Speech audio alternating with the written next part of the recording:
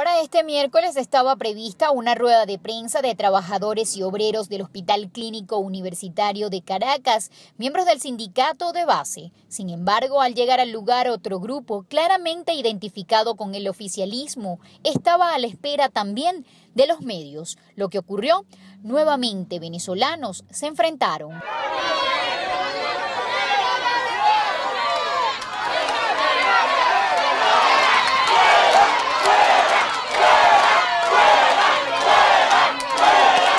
Está hablando una persona que tiene 37 años en el instituto. Esto aquí no es política. Lo que pasa es que estos señores están defendiendo tres sueldos. Tres sueldos están defendiendo ellos. Hacía muy sabroso ser revolucionario, teniendo tres sueldos y defendiendo todo lo que ellos defienden. Aquí es, aquí los guarimberos es el director que tiene más de un mes que no aparece. Se dice que esto no es político, que es una protesta laboral. ¿Desde cuándo les adeuda? Noticieros, señores. La verdad es esta.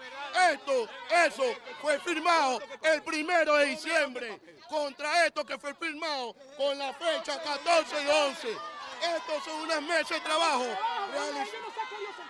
Estas son unas meses de trabajo realizando el hospital universitario por las organizaciones revolucionarias y el Ministerio de Salud. Estas mesas de trabajo tienen más de un mes y hasta ahora, según denuncian algunos trabajadores, no ven resultado alguno. Señalan que no es la primera vez que ocurre. En lo que sí coinciden ambos grupos es que existen problemas dentro del recinto. Señor Castro, ¿Les adeudan o no les adeudan pagos a ustedes como trabajadores de los... Señores, se adeudan 36 horas, pero se van a pagar las 36 horas dependiendo de la carga horaria del trabajador. Aquí lo dice, la cláusula número 56 de la normativa laboral discutida por Fenasil Salud en el año 2013. ¿Cómo están las condiciones a nivel de insumos en este hospital?